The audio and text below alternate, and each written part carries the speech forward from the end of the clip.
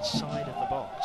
So they've scored a lot of game, a lot of goals in and around the box. Given away, Moloto for three. Here's Moloto right footed, and it is three. And Moloto scores his second of the night. The ball was stolen away. Moloto just ran into the box. The kind of side footed it, curled it round the keeper. And in the 34th minute here, it's FC Tulsa 3, Atlanta United 2 1. From Rios Novo, you see he sees the space he has, takes a couple of touches, and really just passes that ball cleanly into that far post, tucks it just inside the post, doesn't have to put a lot on it. And a player of his class knows what to do in that position, and he does just that.